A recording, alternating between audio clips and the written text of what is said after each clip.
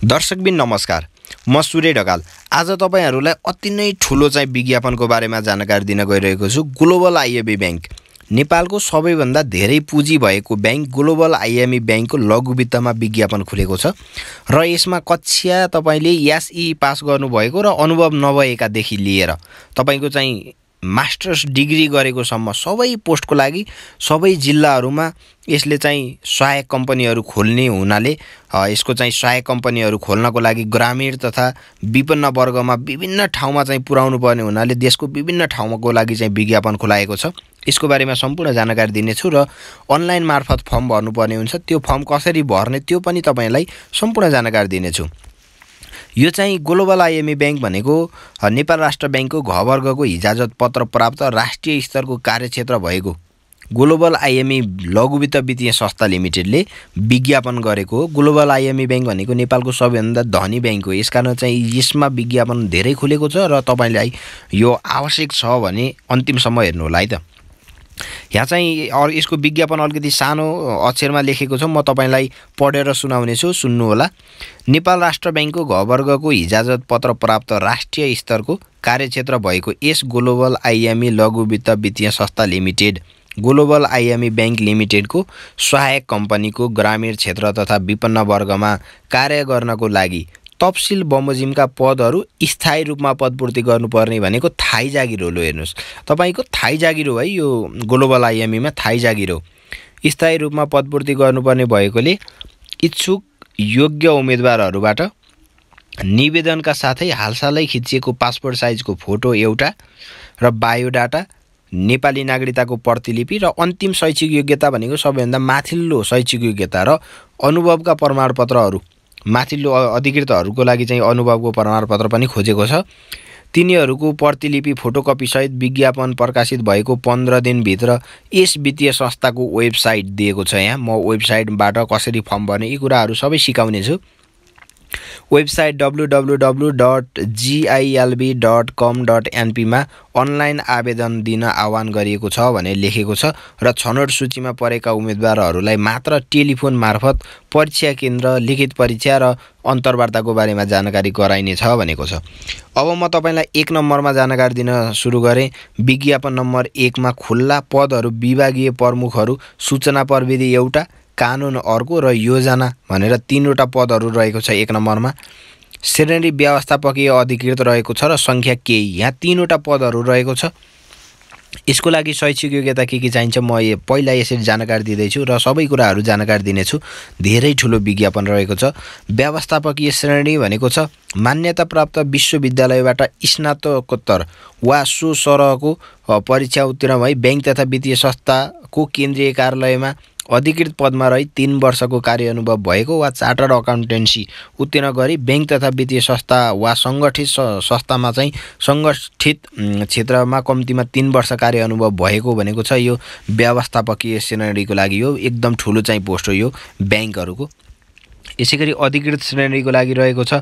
मान्यता प्राप्त विश्वविद्यालयबाट स्नातक वा सोसर परीक्षा उत्तीर्ण भई ब्याङ्क तथा वित्तीय संस्थाको केन्द्रीय कार्यालयमा अधिकृत पदमा रही। चार वर्ष कार्य अनुभव भएको वा सेमी क्वालिफाइड चार्टर अकाउन्टेन्सी उत्तीर्ण गरी ब्याङ्क तथा वित्तीय संस्था वा सङ्गठित क्षेत्रमा कम्तीमा चार वर्ष कार्य अनुभव भएको भनेर लेखेको छ।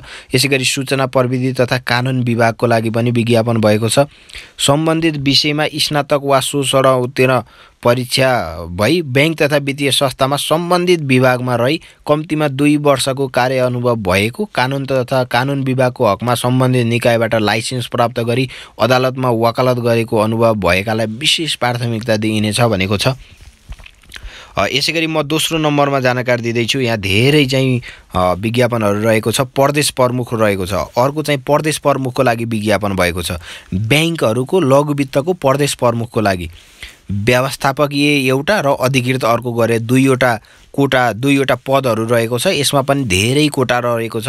नेपालको पचहत्तरवटै जिल्लाको लागि केही भनेर सङ्ख्या रहेको छ। यसमा चाहिँ कति ठाउँमा चाहिँ यसले शाखा विस्तार गर्न सक्छ त्यो अनुसार मान्छेहरूलाई लिने काम हुन्छ। मान्यता प्राप्त विश्वविद्यालयबाट स्नातकोत्तर वा सो सरको परीक्षा उत्तीर्ण भई ब्याङ्क तथा वित्तीय संस्थामा अधिकृत पदमा रही। दुई वर्षको कार्य अनुभव भएको हुनुपर्नेछ। लघु वित्त वित्तीय संस्थामा प्रदेश प्रमुखको कार्य अनुभव भएकालाई विशेष प्राथमिकता दिइनेछ भनेर लेखेको छ। यसै गरी अधिकृत श्रेणीको लागि मान्यता प्राप्त विश्वविद्यालयबाट स्नातक वा सो परीक्षा उत्तीर्ण गरी लघु वित्त तथा वित्तीय संस्थामा अधिकृत पदमा रही तिन वर्ष कार्य अनुभव भएकोलाई विशेष प्राथमिकता दिइने भनेर लेखेको छ। यसै गरी तेस्रो नम्बरमा देख्न सक्नुहुनेछ अनुगमन अधिकृत। यो पनि खुल्लाबाटै हो। सबै खुल्लाबाट विज्ञापन भएको छ। अधिकृत लेभल हो। सङ्ख्या केही भनेर लेखेको छ। यसको लागि शैक्षिक योग्यता भनेको मान्यता प्राप्त विश्वविद्यालयबाट स्नातक वा सो सर परीक्षा उत्तीर्ण भई लघु वित्त वित्तीय संस्थामा शाखा प्रबन्धकमा रही कम्तीमा तिन वर्षको कार्य अनुभव भएको वा प्रवीणता प्रमाणपत्र भनेको कक्षा बाह्र पाँच कक्षा चाहिँ तपाईँले बाह्र पास गरेर यस्तै ब्याङ्क तथा वित्तीय संस्थाहरूमा पाँच वर्ष शाखा प्रबन्धकको रूपमा काम गर्नुभएको छ भने पनि अधिकृतको जागिर खान सक्नुहुनेछ है।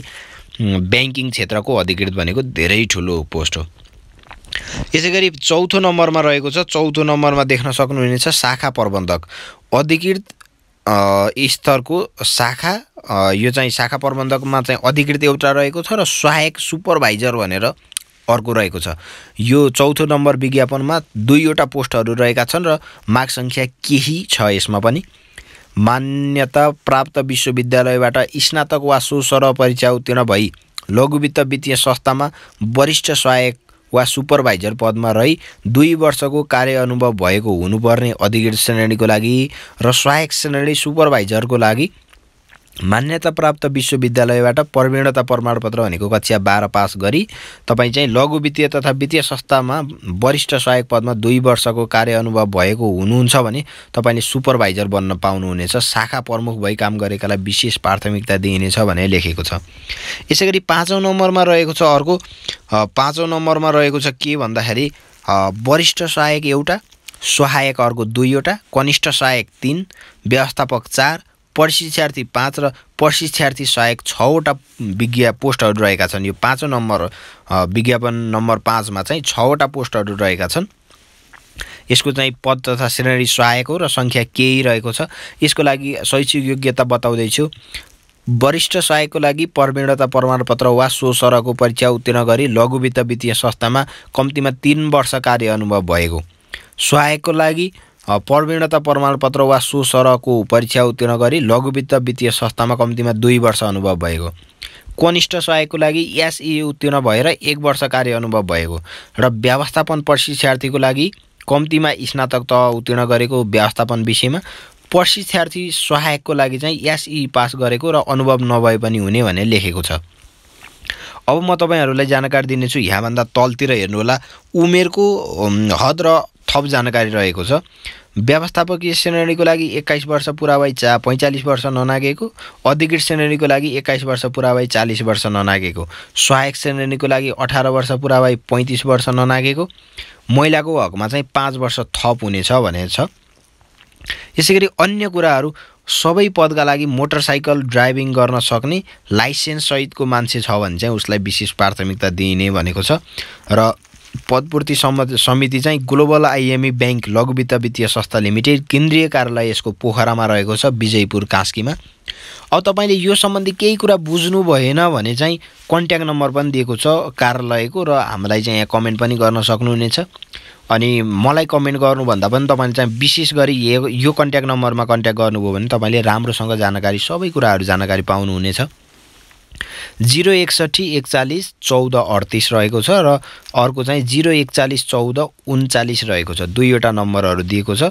जिरो एक सरी जिरो एकसट्ठी एकचालिस चौध अडतिस अर्को जिरो एकचालिस चौध उन्चालिस रहेको छ। यो नम्बरमा कन्ट्याक्ट गरेर सोध्न सक्नुहुनेछ र हाम्रो च्यानलले तपाईँहरूलाई अहिलेसम्म हरेक क्षेत्रका विज्ञापनका भिडियोहरू नेपालको चाहिँ आर्मी प्रहरी एपिएफ लगायतका विभिन्न ठाउँमा चाहिँ सुरक्षा निकायमा खोल्ने विज्ञापन र सेवा संविधानका कुराहरू सबै कुराहरूको चाहिँ जानकारी दिइरहेको छ र आगामी दिनमा पनि यसरी नै दिइरहनेछ भन्दै आजको भिडियो चाहिँ यहीँ अन्त्य गर्छु। हस् धन्यवाद।